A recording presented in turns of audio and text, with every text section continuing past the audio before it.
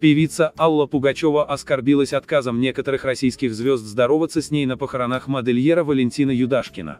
В частности, Примадонна затаила обиду на Николая Баскова и Александра Буйнова. По данным осведомленного источника телеканала «Царьград», понимающим и доброжелательным оказался лишь пресс-секретарь президента России Дмитрий Песков, который поприветствовал Пугачеву. Остальные коллеги решили даже не подходить к певице. Ее помойкой облили. Жалко, что такое отношение было к Али на похоронах. От Баскова, Буйнова и Зверева я вообще не ожидала, что они к Али не подошли. Они все, Басков и Буйнов, отказались, неизвестно, кто предатель из них. Они все скрылись, знаете, как будто она всех сейчас перестреляет. Рассказала подруга артистки. Напомним, что Пугачева покинула Россию после начала спецоперации на Украине. Она обосновалась в Израиле, куда перевезла и всю семью.